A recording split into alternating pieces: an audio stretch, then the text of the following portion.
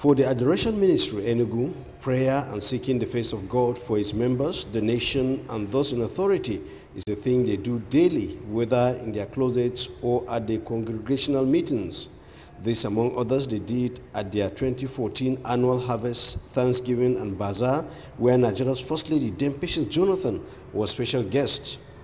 The First Lady, who read from Genesis chapter 12, verses 2 to 3, was described by the spiritual director of the Adoration Ministry, Reverend Father Ejike Mbaka, as a mother whose passion for Nigerians is widely acknowledged. He said the Adoration Ministry has always prayed for President Goodluck Jonathan not only to win elections, but to excel in leadership. We are not stopping because we want him to go back. Even if you don't come here, we keep praying for him. Because the first one we did, we were not here. We are not psychophantic. Because you and your husband have done well in spite of the distractions. They are distracting you so that you will not achieve much. You have done this without distraction. What of if there's no distraction? So go ahead. Go with the consolation of the Holy Spirit. The anointing of the Lord says, God will make your family great. The clergyman also spoke about the abducted Chibok girls, urging Nigerians to unite and fight terrorism.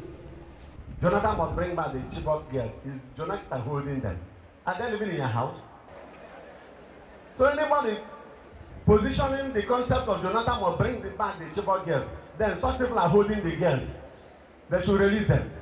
Not Jonathan. Jonathan is not a kidnapper. Dame Patient Jonathan thanked the Adoration Ministry for their committed prayers for Nigeria and the administration of President Jonathan and said Nigeria is being transformed.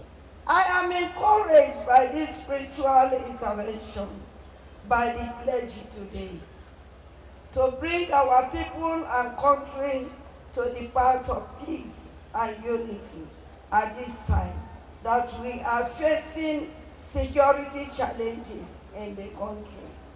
Deputy Senate President Ike Ekweremadu thanked First Lady Dame Patience Jonathan for her visit to Enugu and also reaffirmed the total support of the state for President Goodluck Jonathan's re-election. Reverend Father Ejike Mbaka then offered special prayers for the First Lady and President Jonathan. The children were not left out as little Miss Chinasa Nwafo read a speech on behalf of the congregation eulogizing the First Lady's philanthropy and kind-heartedness. In Enugu, I am Makut Simon Macham, NTA News.